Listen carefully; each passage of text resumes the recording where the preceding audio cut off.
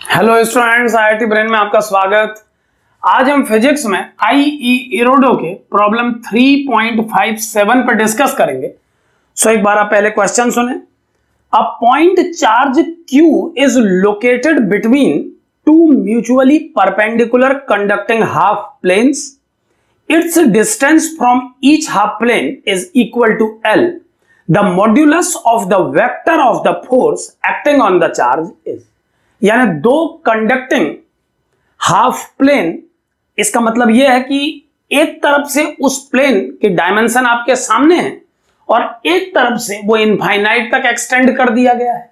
ऐसे दो half plane एक चार्ज पार्टिकल के सामने रखे हुए हैं और उस चार्ज पार्टिकल की डिस्टेंस दोनों प्लेन्स से एल एल है। आपको उस चार्ज पार्टिकल पर फोर्स कैलकुलेट करना है उन चार्जेस के कारण।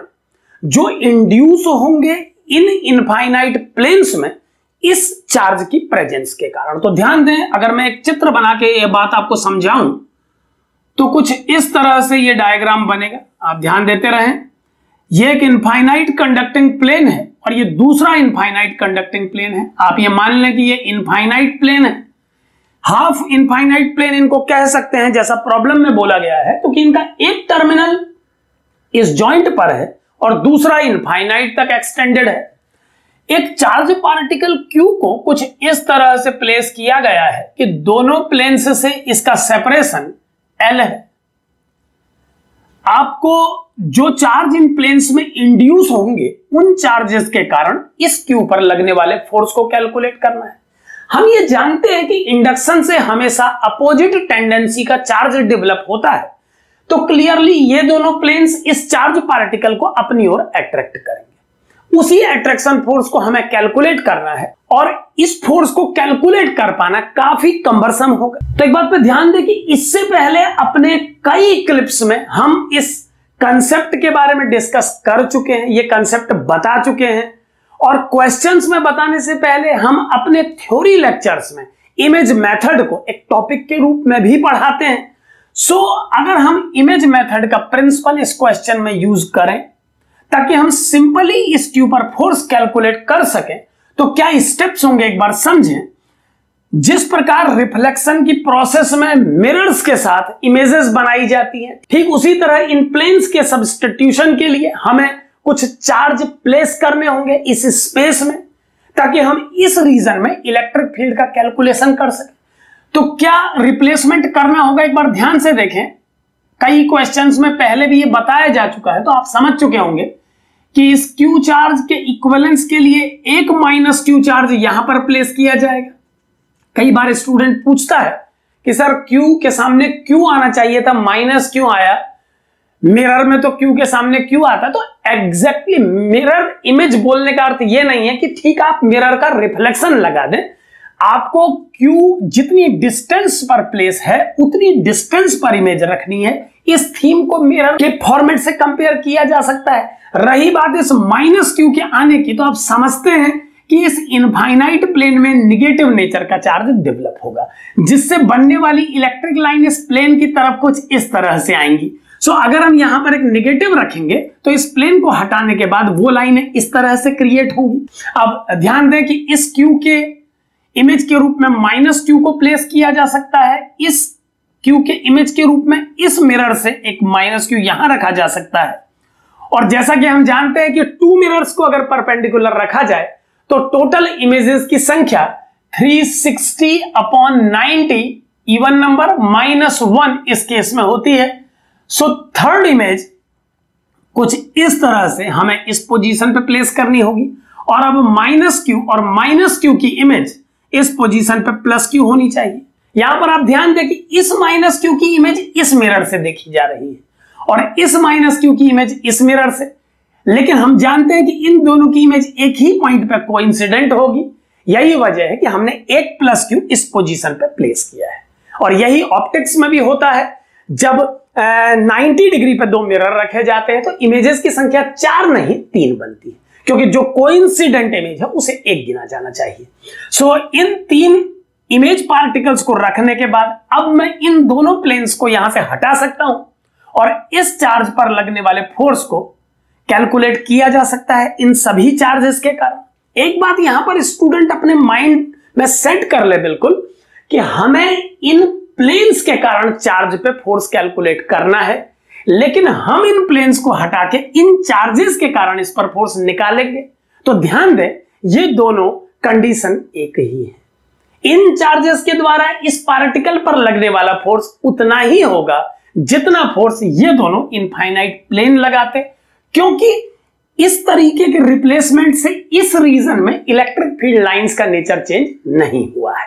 इलेक्ट्रिक फ़ील्ड लाइंस का नेचर चूँकि चेंज नहीं हुआ है यही वजह है कि आज भी इस चार्ज पर ये सभी मिलके उतना ही फोर्स लगाएँगे इस नए अरेंजमेंट में, जितना ये प्लेटें लगाती अगर इनके नॉन यूनिफॉर्मली डिस्ट्रीब्यूटेड चार्ज को समझा जा पाता। लेकिन आप जानते हैं मैथमेटिकली ये कॉम्प्लिकेटेड है तो हम उसके रिप्लेसमेंट से इस प्रॉब्लम को सॉल्व करने की कोशिश कर रहे हैं। अब माइनस क्यू और प्लस क्यू के बीच की डिस्टेंस टूएल हो चुकी है, आप देख पा रहे हैं। यहाँ भी ये डिस्टेंस टूएल है। सिंप्लीफिकेशन के लिए हम q square upon l square into k multiple term को एफ़ नोटेशन से प्रेजेंट करेंगे। आप ध्यान देते रहे। एक जनरल डिस्कशन बनाने के लिए, एक सिंपल डिस्कशन बनाने के लिए हम k q square upon l square को एफ़ नोटेशन से प्रेजेंट करेंगे और ऐसा करने पर इस पर नेट फोर्स कैसे लिखा जाएगा? एक बार समझें आप। ये माइनस क्यू चार्ज पार्टिकल इस प्लस क्यू चार्ज पार्टिकल को अट्रैक्ट करेगा और इस फोर्स की वैल्यू होगी ओरल कैलकुलेट करें, ये होगी k q q upon two l whole square यानी डिनोमिनेटर पे फोर आएगा। तो मैं इसे एफ़ बाय फोर से प्रेजेंट कर रहा हूँ। ठीक इसी प्रकार माइनस क्यू इस क्यू को अपनी ओर अट्रैक्ट करेगा तो इस डायरेक्शन में भी इसे मैं थोड़ा सा स्मॉल साइज़ दे देता हूँ। इस डायरेक्शन में भी एक फोर्स डेवलप होगा, जिसे हम एफ़ बाई फोर लिख सकते हैं। आप जानते हैं कि इन दोनों का मैग्नीट्यूड एक सा ही होना चाहिए। सो ये दोनों फोर्स बनाए जा चुके हैं। अब ये प्लस क्यू चार्ज इस क्यू चार्ज को रिपल करेगा, हम ये जानते हैं। और इस रिपल्सन की वैल्यू कितनी होगी? एक बार हमें ये कैलकुलेट करना होगा। तो ध्यान दें कि इस चार्ज पार्टिकल के कारण इस क्यू पर जो फोर्स डेवलप होगा उस फोर्स को लिखा जा सकता है k q q upon two l root two whole square क्योंकि आप जानते हैं ये टू एल और टू एल है तो ये टू एल रूट टू होगा। और टू एल रूट टू का अगर हम होल स्क्वायर करेंगे तो डिनोमिनेटर पे एट एल स्क्वायर आना चाहिए। सो so, डिनोमिनेटर पे एट एल स्क्वायर आने के कारण मैं इसे एफ़ बाई एट से प्रेजेंट कर रहा हूँ। अब सभी फोर्सेस को लिखा जा चुका है। अपने नॉर्मल कन्वेंशन में इस डायरेक्शन को आई और अपवर्ड को जे मानते हुए, अगर मैं फाइनल नेट फोर्स कैलकुलेट करूँ क्यू चार्ज पे तो उसे लिखा जा सकता है एफ़ बाय फोर उसे लिखा जा सकता है एफ़ बाय फोर जो कि k q square by l square by four के इक्वल है। सो मैं इस टर्म को आउटसाइड लिख के ब्रैकेट में केवल नंबर्स प्रेजेंट करूँगा। आप ध्यान देते रहे। एफ़ नोटेशन का यूज़ किया गया था ताकि इतना बड़ा प्रेजेंटेशन बार बार ना लिखना पड़े।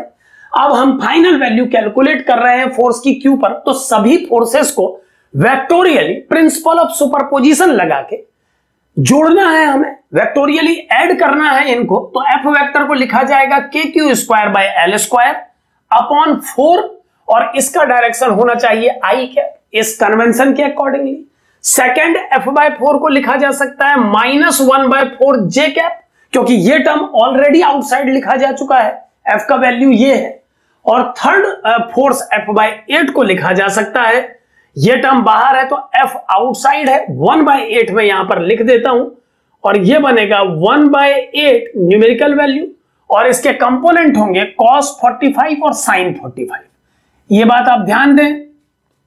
कि जो कंस्ट्रक्शन इस क्वेश्चन में तैयार हुआ है, ये एक स्क्वायर है, और इस केस में इस एंगल को 45 डिग्री होना चाहिए।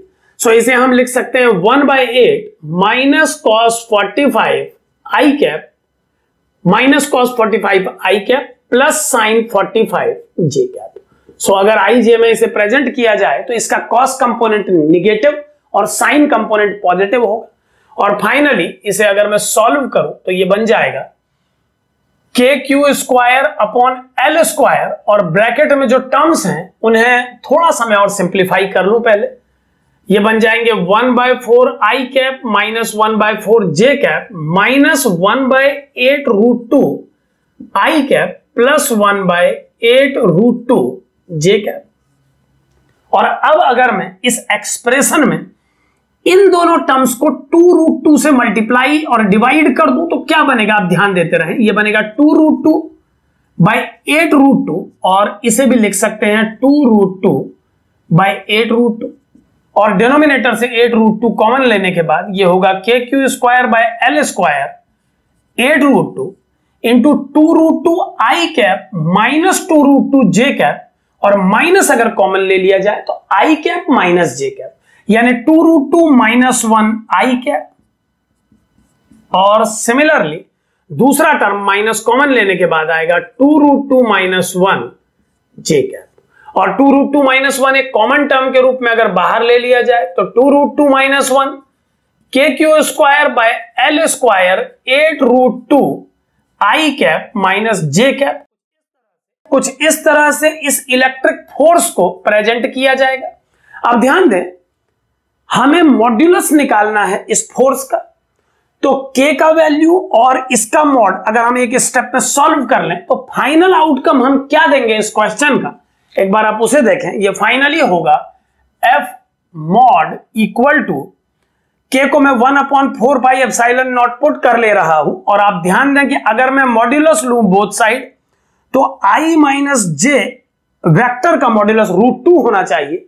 तो आप देख पा रहे हैं कि ये रूट टू तो कैंसिल हो जाएगा मॉड्यूलस के बाद, और ये one by four pi epsilon nought बनेगा। तो एट फोर जा थर्टी टू यानी मैं लिख रहा हूँ one by thirty two pi epsilon nought q square upon l square into two root two minus one so कुछ इस तरह से फोर्स के मैग्नीट्यूड को दिया जा पाएगा। ये होगा two root two minus one q square upon thirty two pi epsilon nought l square और यही इस प्रॉब्लम का सही सॉल्यूशन है। सो इमेज मेथड का यूज़ करके इस तरह की प्रॉब्लम को सॉल्व किया जा सकता है। एक बात ध्यान दें कि हम इसे इमेज मेथड का नाम देते हैं, क्योंकि इस मेथड में रिफ्लेक्शन के बेसिक फंडामेंटल का यूज़ किया जाता है। Thank you